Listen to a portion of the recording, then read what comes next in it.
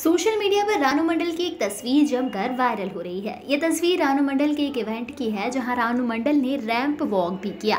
रानू की इस तस्वीर में फैंस उनके मेकअप का जमकर मज़ाक बना रहे हैं। रानू की इस तस्वीर पर सोशल मीडिया पर मीम्स बनाए जा रहे हैं। हर कोई ये जानना चाहता है कि वो कौन है जिसने रानू का मेकअप किया है।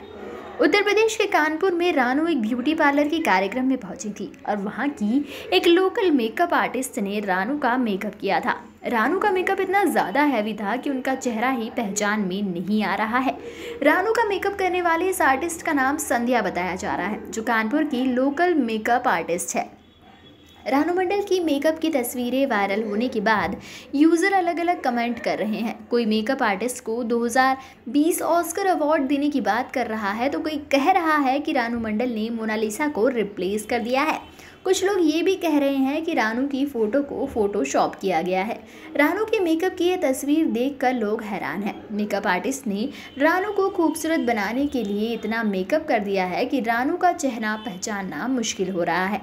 कार्यक्रम में रानू के साथ मेकअप आर्टिस्ट ने भी रैंप वॉक किया। इस दौरान दोनों काफ़ी कॉन्फिडेंट नज़र आए, लेकिन जैसे ही रानू की ये तस्वीर सोशल मीडिया पर पहुँची, उन्हें जमकर ट्रोल किया जाने लगा। ट्रोलर्स ने तो रानू मंडल को बिलेटेड हेलोविन भी विश कर दिया है।